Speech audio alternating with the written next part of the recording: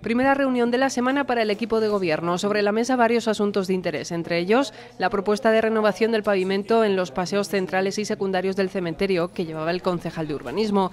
Ha sido el propio Pedro Martín el que ha explicado que se trata de dar continuidad a los trabajos que se llevan haciendo en el Campo Santo en este último año para mejorar en accesibilidad.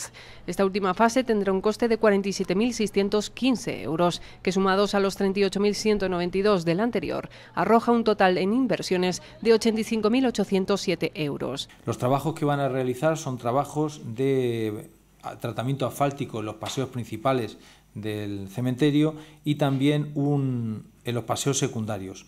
En los paseos secundarios que se va a hacer un acabado en hormigón, señalizando el paso con bordillos, jardineros blancos, para esas delimitaciones que hay entre las tumbas. En esta reunión también se ha dado el visto bueno al proyecto de la red de saneamiento. La primera fase, dotada con un presupuesto de 26.856 euros, permitirá el arreglo de las calles México, Avenida de los Reyes Católicos, Avenida de los Descubrimientos, Avenida de Europa y la rotonda de la calle Camilo José Cela.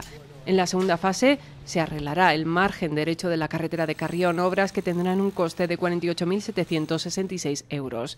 Que con las dos fases, que son en total 75.625 euros, que son los que se van a invertir durante este año en la mejora de la red de saneamiento y en la mejora para que no se produzcan en esos puntos determinados de la ciudad esos atascos o cargas de colectores que estaban por encima de su capacidad y se, y se producían también esas balsas de agua en la calzada.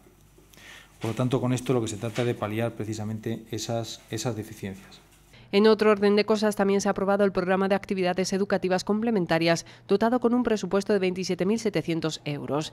Se da el visto bueno a la décima edición de la Feria del Stock, que tendrá lugar del 29 al 5 de octubre en la Plaza Mayor, así como la concesión a la empresa Beta Comunicación de la gestión del canal temático temático municipal por importe de 115.900 euros.